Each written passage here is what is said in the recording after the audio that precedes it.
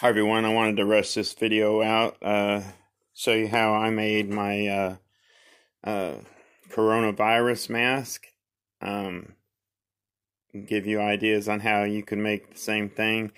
Um, I believe, you know, it provides me full protection.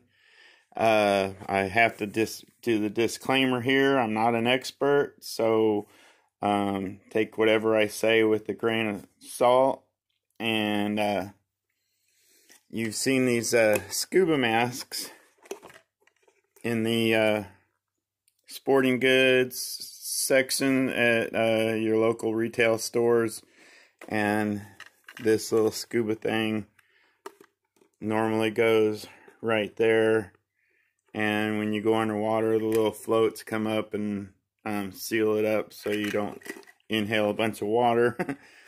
And this part of the mask is designed to allow you to exhale, but it doesn't allow any air back in.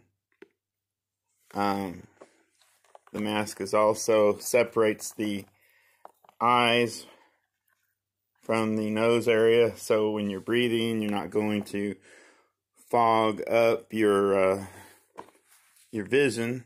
You'll be able to see perfectly fine. Um, the way I made this is I went to the store and I bought me one of those furnace filters that uh, is rated to screen out viruses. I tore it apart and got the material out of it. Okay, so I took the snorkel off of my mask and in its place I stretched some material over the uh, place where it goes. And then I put all these rubber bands. First I taped it up real good with uh, electrical tape. And I put all these rubber bands around it. And I'll show you why I did that here. This is just the cap off of a regular deodorant um, dispenser that you buy.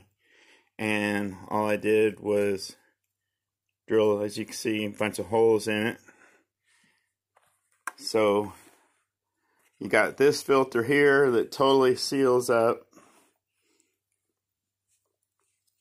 These rubber bands are designed so that when this next piece of material sits in there, down in there,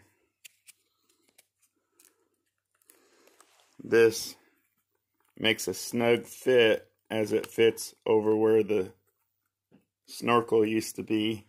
And now what you've got is a double barrier of, of protection. Now you might say, well, why don't you just put two pieces of cloth directly over it? Well, I tried that. The problem is that because they're so close together, it makes it difficult to breathe. By spreading them apart a little bit, making this area with holes, you can breathe just fine. So you've got that first layer of protection and then inside there second layer of protection.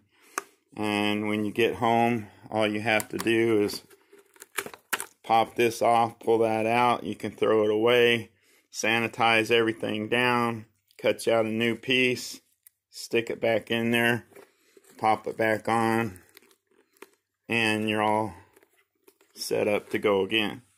And if you want to do a deep clean you pull the whole thing apart and put two pieces on. But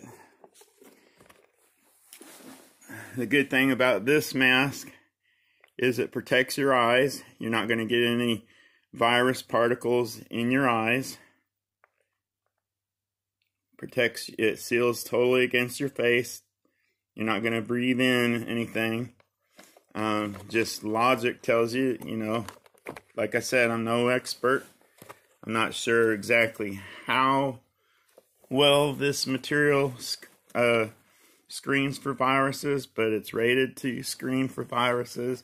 And I figure two layers of it should do a pretty good job. Now, I realize a lot of people aren't going to want to walk around looking like Darth Vader, but, you know, at this point, people dying, And myself, I happen to be the uh, primary caregiver for my mother, who is uh, pushing 88 years old, and I cannot afford to bring this stuff home and make her sick. Um, if that happened, I would probably, uh, you know, God forbid, lose my mother. And so I'm trying to do the best I can.